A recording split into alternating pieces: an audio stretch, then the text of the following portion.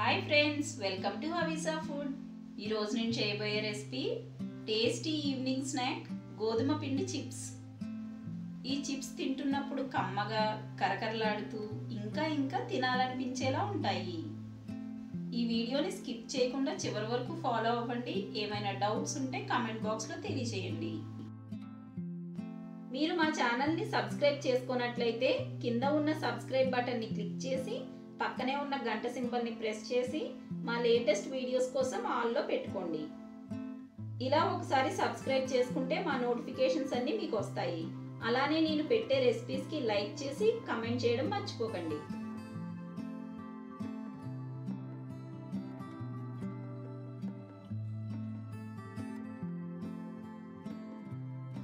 దీనికి కావాల్సిన ఇంగ్రీడియంట్స్ గోధుమ పిండి వన్ కప్ డీప్ ఫ్రైకి సరిపడా ఆయిల్ బొంబాయి రవ్వ టూ టేబుల్ స్పూన్స్ రుచికి సరిపడా సాల్ట్ వాము వన్ టేబుల్ స్పూన్ పచ్చిమిర్చి పేస్ట్ ఐదు కారంగా ఉన్న పచ్చిమిర్చి తీసుకుని వాటర్ వేసుకోకుండా మిక్సీ పట్టుకోవాలి.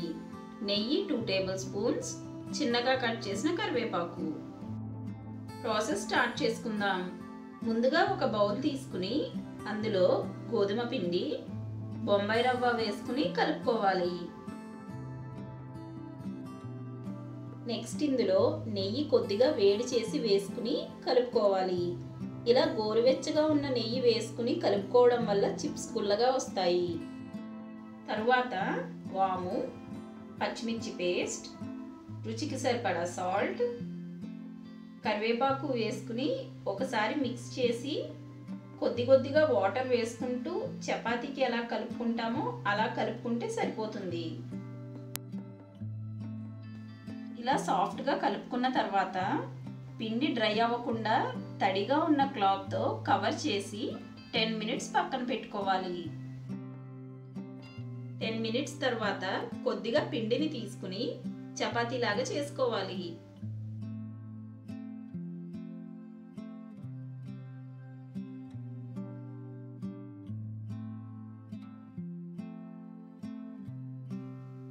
చపాతీ ఇంత థిక్నెస్ ఉంటే సరిపోతుంది. ఇలా చేసుకున్న తర్వాత నైఫ్తో సైడ్స్ని కట్ చేసి రిమూవ్ చేసుకోవాలి.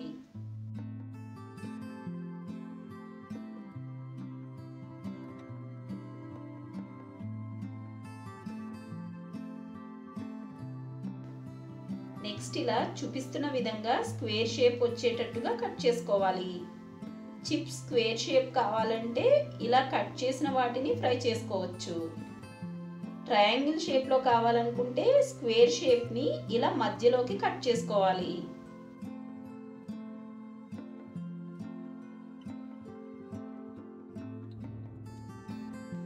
మీకు వేరే ఏ షేప్లో కావాలన్నా చేసుకోవచ్చు.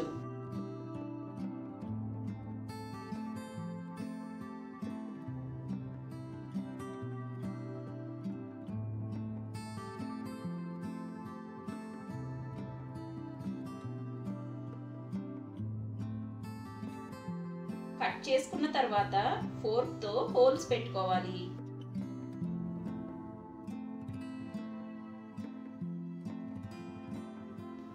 తర్వాత ఈ పీసెస్ని ఒక్కొక్కటిగా ప్లేట్లోకి తీసుకోవాలి.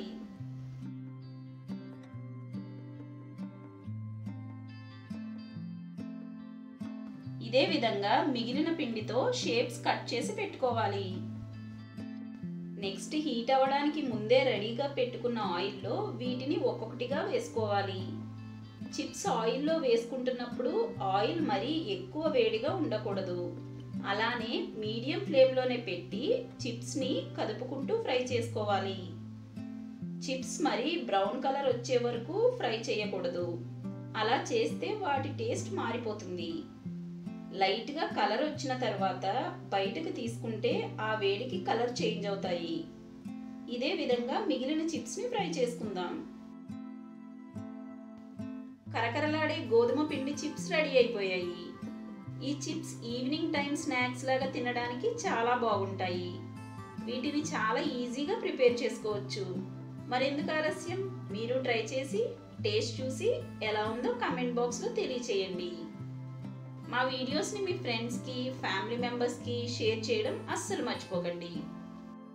మా రెసిపీ కనుక మీకు నచ్చినట్లయితే please like share comment and subscribe to our channel Havisa food.